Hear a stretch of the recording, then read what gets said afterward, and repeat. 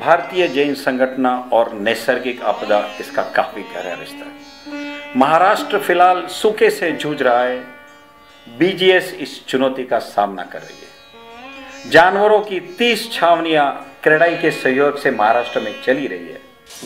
ऊस भेटला कुट्टी भेटली। त्यांच्यामुळं आमच्या जनावरं जे दावणीला जाणार होते, ते प्रत्येक शेतकऱ्याच्या घरी राहील. जनावरांचे प्रत्येक शेतकऱ्यांच्या जनावरांचे इन्शुरन्स घेतलेला आहे.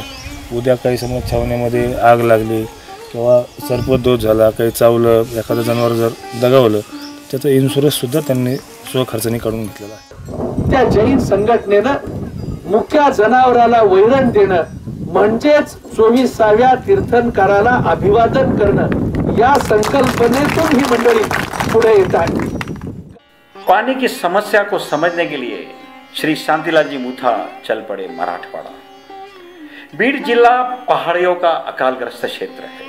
बंजर ज़मीन है एवं पानी की कमी है। बीड ज़िले का दौरा करने के बाद पता चला कि पिछले 50 वर्षों से तालाबों में से बड़े पैमाने पर गाल निकाला ही नहीं गया। इस वजह से तालाबों में पानी ही नहीं है।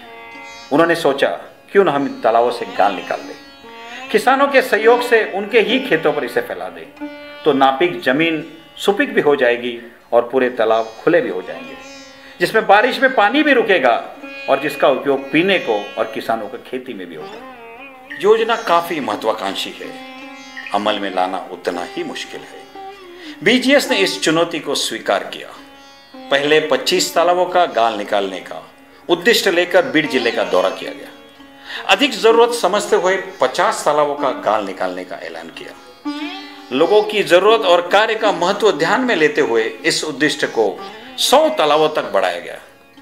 कम समय में इतने बड़े कार्य को युद्ध स्तर पर पूरा करने के लिए खुद शांतिलाल जी मैदान में उतरे और 100 तालाबों का गाल निकालने का काम पूरा होने तक पूना में नहीं जाने का ऐलान भी कर दिया। नैसर्गिक आपत्ती